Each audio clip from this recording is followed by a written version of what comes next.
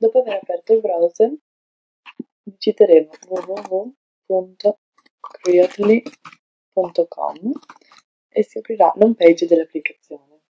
Creately permette di creare diagrammi, mappe mentali, schemi e qualunque altra cosa che necessiti di una rappresentazione grafica. È un'applicazione web basata su Flash ma è scaricabile anche da Google Play e, da, e su App Store. È possibile eh, provare questa applicazione senza effettuare la registrazione, ma in questo caso entreremo in una modalità demo che ci permetterà di disegnare i nostri diagrammi ma non di salvarli. Quindi per poter utilizzare l'applicazione in modo più completo sarà necessario effettuare la registrazione. Basterà cliccare in alto a destra su Sign Up ci verrà richiesto il nostro nome, il nostro cognome, la nostra mail e una password. È possibile inoltre autenticarsi attraverso il profilo Facebook, Twitter e Google. Io mi sono già autenticata e quindi cliccherò su Sign in. Mi verrà richiesta la mia mail, la mia password e potrò poi entrare nella mia dashboard. Qui potrò tenere sotto controllo tutti i lavori effettuati in precedenza e potrò crearne di nuovi cliccando sull'icona in alto a destra New Document. L'applicazione mi suggerisce una lista di tipi di diagrammi che posso creare e mi basterà cliccare sopra a un tipo di diagramma, ad esempio My Maps, per crearlo.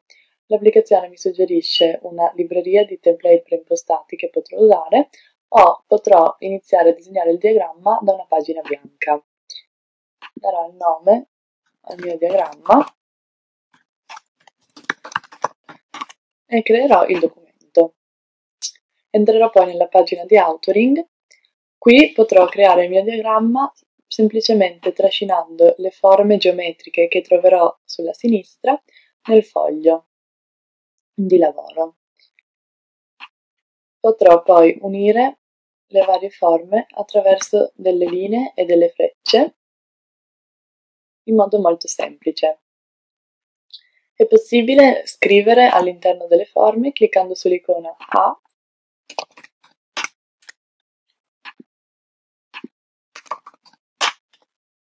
Tutti gli elementi foglio, sul foglio di lavoro possono essere modificati nella dimensione e nel colore eh, si può scrivere il testo anche al di fuori delle forme geometriche cliccando sull'icona in alto A e potremo scrivere il testo. Ehm, per condividere il nostro diagramma con altri utenti basterà cliccare sulla destra Share. Qui inseriremo la mail dei collaboratori che vogliamo invitare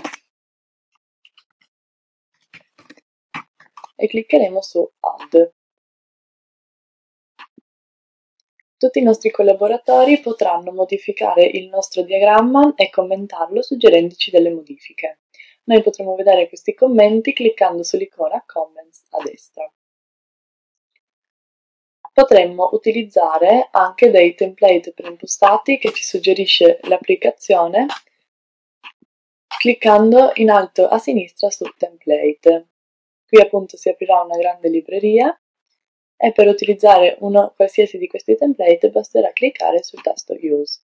Si aprirà quindi sul nostro foglio di lavoro.